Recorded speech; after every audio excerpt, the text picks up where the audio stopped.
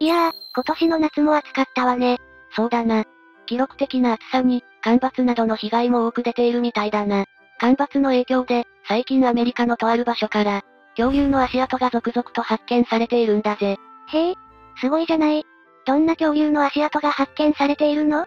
アクロカントサウルスという、肉食恐竜の一種だな。知らない恐竜ね。よし、じゃあ今回はアクロカントサウルスについて紹介するぜ。まずはアクロカントサウルスの基本情報について教えてくれるかしら？よし、わかった。アクロカントサウルスは、約1億1300万年前から1億1000万年前の白亜紀前期に生息していたぜ。白亜紀前期って言うと、あのティラノサウルスが登場する少し前よねその通りだ。アクロカントサウルスは、今レイムが名前を挙げたティラノサウルス、カルカロドントサウルス、ギガノトサウルス等と並ぶ大型の肉食恐竜であり、当時の北米大陸最大級の大きさだったんだぜ。とても強そうな恐竜ばかりじゃない？そんなに大きな体だったの？アクロカントサウルスの全長は11メートルから12メートル、体重は5トンから6トンにもなるんだぜ。おお、確かに大きいわね。ちなみにアクロカントサウルスの名前は、ギリシャ語で背の高い脊椎を意味するアクロカントと、爬虫類の意味を持つサウルスを合わせたものなんだ。体の大きな特徴は、長い背びれだな。あ、それが名前の由来にもなっているのか。そういうことだ。アクロカントサウルスの化石はアメリカのオクラホマ州、テキサス州、ワイオミング州で発見されているぜ。結構広範囲で発見されているのね。それだけでなく、アクロカントサウルスのものとされる歯や、頸椎、脊柱骨は東部のメリーランド州でも発見されており、生息していた地域は大陸全域に及ぶことが示唆されているんだ。まさに大陸の覇権を握った王者って感じだわ。最近では解剖学の進歩もあり、アクロカントサウルスの体の構造の詳細が多く解明されてきたぞ。脳の構造や、前足の機能に焦点を当てた研究など、より専門的な研究が進められているぜ。なるほど。じゃあこれからさらに驚くような、新発見があるかもしれないってことね。そういうことだな。ちなみにどんなものを食べていたのかしら？さっきも言った通り、アクロカントサウルスは当時の環境で、その生態系の頂点に君臨していたんだ。主に有脚類、角竜、鳥脚類などの草食動物を捕食していたと考えられるぞ。なるほど、そのあたりは他の大型肉食恐竜と同じっぽいわね。アクロカントサウルスの基本情報はこんな感じだな。じゃあ、次はその生態について詳しく説明していこう。よろしく頼むわ。アクロカントサウルスは他の大型肉食恐竜と同じように、二足歩行の捕食動物だったんだぜ。大型の肉食恐竜って、基本的なフォルムは似ているものね。かっこよくて好きだわアクロカントサウルスは名前が示す通り、背中にある大きな背びれが特徴で、この背びれの元にある脊椎が、首、背中、腰などの筋肉の隆起を、支えていたと考えられているんだ。あれだけ大きな体を支えようと思ったら、とんでもない筋肉が必要になるわよね。どれだけの筋肉があったのか想像もつかないわ。ちなみにアクロカントサウルスは、特徴である背びれを除くと、典型的なアロサウルス科の恐竜の特徴を持っていたんだ。おお、アロサウルス。有名な恐竜じゃないじゃあアロサウルス科の恐竜たちとよく似ていたってことね。そういうことになるな。この科の恐竜は二足歩行で、長くて重い尾が頭とのバランスをとり、重心を腰の上で保っているんだ。だからあんな大きな体でもバランスよく二本足で歩けるのね。アクロカントサウルスの前足は、アロサウルスのものよりも短く、より頑丈だったと考えられている。そして、それぞれの手に3本の爪のある指があったんだ。これはアロサウルスと同じだな。ふむふむ、アロサウルスにやっぱり似ているのね。頭部に目を向けると、横幅よりも高さに重きを置いた構造をしていたんだ。この頭部の構造からわかることは、獲物を狩る時の方法だな。確かに肉食恐竜って、頭部の横幅は小さいわね。一体どんな方法で狩っていたのかしら？おそらくだが、軽い力で肉厚の獲物を鋭く切り裂いて、失血死に追い込むことに適していたと考えられているんだ。あのティラノサウルスなんかは、強い攻防力で、獲物を骨ごと噛み砕いていたとされているな。なるほど、同じ大型肉食恐竜でも、攻撃の仕方は全然違ったのね。上顎には38本もの歯が並んでおり、攻撃の際には高い殺傷能力を発揮したと考えられているぜ。上顎だけで歯が38本。人間の倍以上ね。いや、比べる対象が人間なのはおかしいだろう。いいじゃない。自分たちと比べた方がわかりやすいわよ。まあ私たちはまんじゅうだけどな。まあそんなことはどうでもいいから話を戻すぞ。どうでもいいってひどいわね。大腿骨に注目すると、頸骨や中足骨よりも短いんだ。これはアクロカントサウルスが、速く走る種ではなかったことを示唆しているぜ。やっぱり大型恐竜は動きが速くないのね。小型の恐竜は速く走れるイメージがあるけれど。まあ大体そのイメージ通りだと思うぞ。また、後ろ足の骨は禁煙種である、アロサウルスよりも大きく頑丈だったんだ。あのアロサウルスよりも、それはさぞたくましい足だったんでしょうね。そうだろうな。また、これまでに発見された化石の特徴から、アクロカントサウルスが完全に成長するには、少なくとも12年の年月が必要だったと考えられているんだ。12年それは長いわね。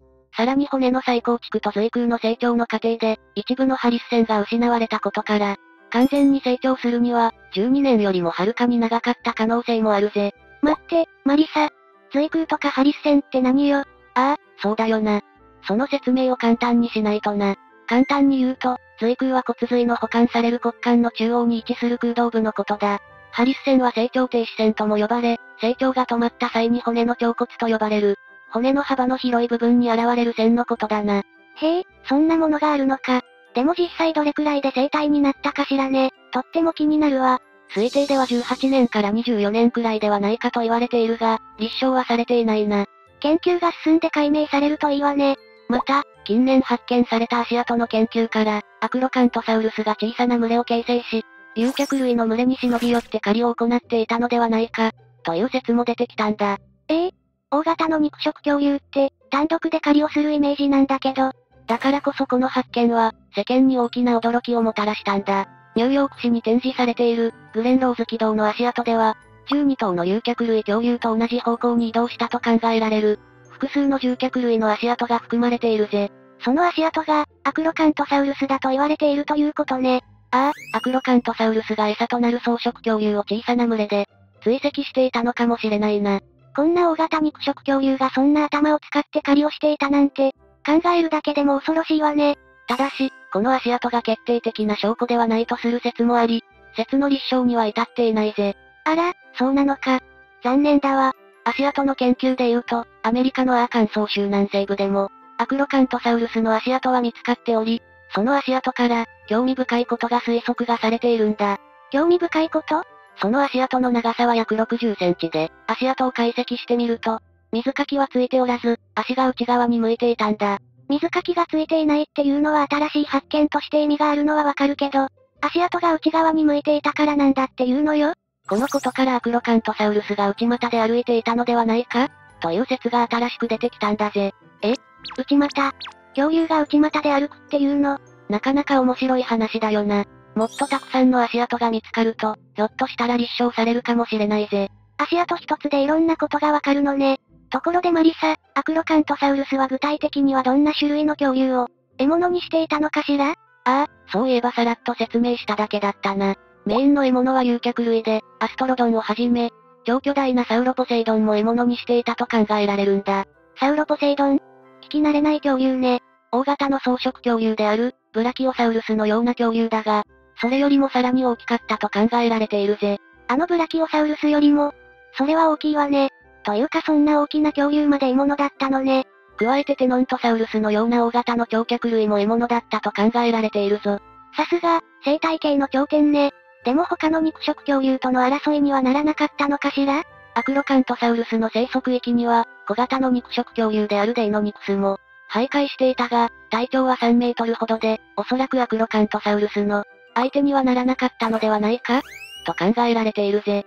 その大きさじゃアクロカントサウルスとは争えないわね。以上がアクロカントサウルスの生態についてだな。それじゃあここで、冒頭で少し触れたアクロカントサウルスの、足跡が見つかった場所について紹介するぜ。それは興味深いわね。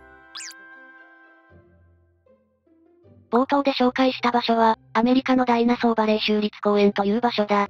この場所は恐竜の谷と呼ばれているんだぜ。恐竜の谷？何そのロマン溢れる場所は？ぜひ一度は行ってみたいよな。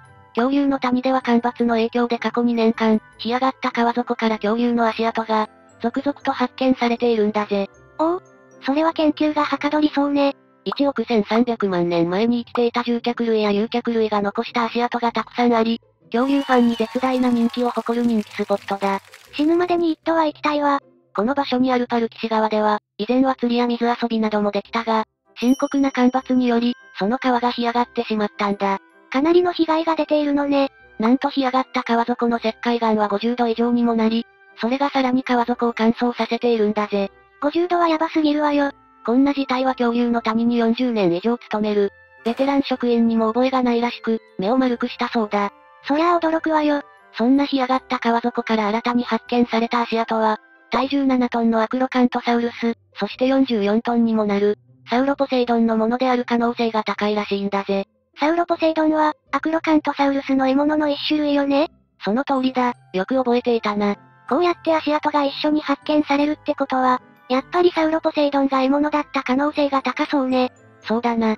このように足跡からは様々な情報が得られるんだが、この足跡の発見にはボランティアの人々の懸命な努力があるんだぜ。あら？そうなの？素人考えだとカラカラに干上がった川なら簡単に足跡を見つけられると、思うかもしれないが、そうじゃないんだ。失礼ながら簡単そうだなって思っちゃってたわ。本当に失礼な奴だな。足跡は大量に積もった砂利や砂、乾燥した泥といったものの下にあり、これらをボランティアの人たちが取り除いてくれることで、やっと発見されるんだ。そうだったの。しかも、その期間は何日、下手したら何週間にも及び、途方もない作業なんだぜ。何週間もそれは確かに途方もないわね。こうした人々のおかげで、恐竜に関する新発見や、研究が進んでいるということを忘れてはいけないぜ。ほんとね。感謝しなきゃ。じゃあ続いては、アクロカントサウルスの分類について見ていこう。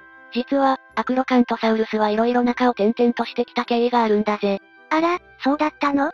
結論から言えば、アクロカントサウルスは、テタヌラ科目カルカロドントサウルス科に、分類がされるんだ。あれ？アロサウルスと特徴が似てるって言ってなかった？てっきりアロサウルス科なんだと思ってたわ。体の構造は似ているが厳密に言うと、違うとされているんだ。ただし、このカルカロドントサウルスもアロサウルス類の一員で、非常に似通った特徴を持っているぜ。なるほど。今でもアロサウルス科と、カルカロドントサウルス科の、どちらに属するかという論争が続いているが、近年はカルカロドントサウルス科の研究が進んでいることもあり、カルカロドントサウルス科に属するという説が有力になってきているんだ。そういうことなのね。恐竜の分類ってほんとややこしいわ。発見当時は、断片的な化石しか発見されていなかったこともあり、もともとはアロサウルスと共にアロサウルス科に分類されていたんだ。最初はカルノサウルス類アロサウルス科、次はメガロサウルス科、そして、その後は背中の長い神経局の特徴からスピノサウルス科に分類されたんだ。それで今ではカルカロドントサウルス科に落ち着いたというわけね。そういうことだ。現在でもどの分類に属するかという結論は出ていないから、ひょっとすると、今の定説が覆る可能性があるかもな。それはそれでちょっと楽しみね。最後にアクロカントサウルスの生きた時代と絶滅について見てみよう。アクロカントサウルスは、白亜紀前期まで生きていたのよね？ああ。アクロカントサウルスを含むカルカロドントサウルス科は、白亜紀前期には全て絶滅し、白亜紀後期に繁栄したティラノサウルス科へその生態系を、明け渡してきた、と考えられてきたんだ。ふむふむ。しかし、アメリカの学者の発見によりカルカロドントサウルス科は、かなり長い時代にわたって生きていたのではないかとの説が出てきたんだ。つまりどういうこと？アクロカントサウルスは、かなり長い時代を、頂点捕食者として君臨した可能性があるということだ。おお、それはすごいわね。ティラノサウルス以前の大陸の覇者って感じね。このことについてももっと研究が進んで、より詳しくわかるといいな。これでアクロカントサウルスについての紹介は以上だ。アクロカントサウルスの特徴や生態について知ることができて面白かったわ。最近の研究から分かった植生の話や、恐竜の谷の話も面白かったわよ。あのティラノサウルスと並ぶくらいの肉食恐竜だからな。今後も研究で新しいことが判明するかと思うとワクワクするぜ。ほんとね。今後も変わった恐竜がいたらぜひ紹介してほしいわ。